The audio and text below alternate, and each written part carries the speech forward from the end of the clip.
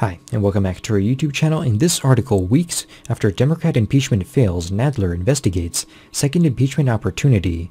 The impeachment push seems to have backfired on the Democrats. Trump is stronger than ever, so what is Nadler up to? Donald is enjoying high approval polls and record fundraising. In fact, few would even question his 2020 re-election chances. Some House Democrats have learned their lesson. In recent weeks, they've been backing down.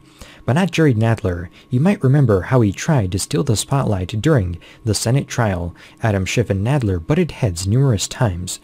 Now, as the rest of his party turns tail and runs, Nadler apparently wants to ramp things up. From Politico, House Democrats are seeking interviews with the four career prosecutors who quit the case of Roger Stone.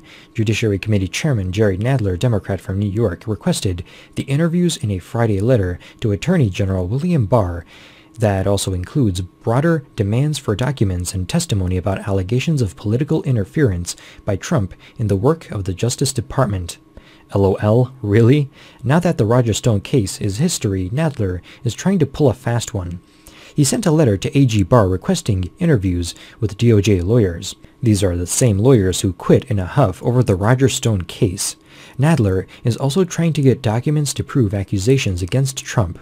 It seems the Democrat believes the president is interfering with the DOJ. I guess Nadler forgot that the DOJ reports to the president.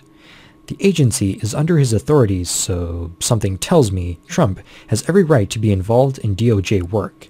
Nadler seems to believe that Trump is politically interfering with the DOJ.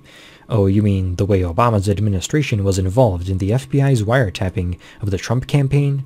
Or how Bill Clinton met with former AG Lynch just before the FBI dropped their case against Hillary? I don't remember Nadler investigating his own on these very questionable circumstances.